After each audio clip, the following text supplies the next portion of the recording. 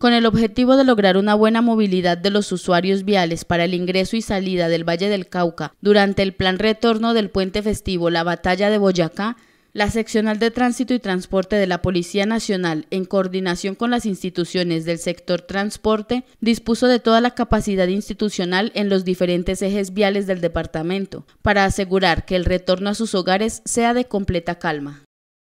Durante el presente fin de semana, acompañamos a diferentes ciudadanos que retornan a sus lugares de residencia, dentro y fuera del departamento del Valle. Son más de 23 áreas de prevención instaladas a lo largo y ancho del departamento. Igualmente, contamos con 2.000 policías ubicados en diferentes puntos estratégicos, lugares religiosos, centros turísticos, para fortalecer la seguridad ciudadana. Estamos también haciendo acompañamiento aéreo, monitoreando las carreteras a través de videocámaras instaladas para fortalecer y garantizar su seguridad. Hemos realizado más de 256 comparendos de algunas personas infractoras de las normas de tránsito.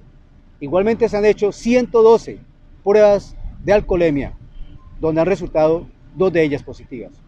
Seguimos trabajando para acompañar a nuestros visitantes en un retorno tranquilo a sus residencias. Es un honor ser policía.